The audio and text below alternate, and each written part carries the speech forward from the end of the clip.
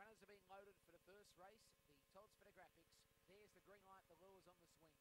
Race one of the afternoon here at Mount Gambier. Set the break. Ready and away. Started well. She's got smile. Speed from Minari Stenosis, but Bad Seed rolls forward and goes to the lead. She's got smiles in second spot as being dragged back. Star Rain moving up the third. Sinatra Bay. Back at the tail, Minari Stenosis around the turn. Bad Seed still with the leader, and Bad Seed wins comfortably. Second spot goes to She's Got Smiles. Followed next by Sinatra Bay, Star Rain, and Minari Stenosis. Race time will be around about 17 and 6. Bad Seed too good for two black and whites.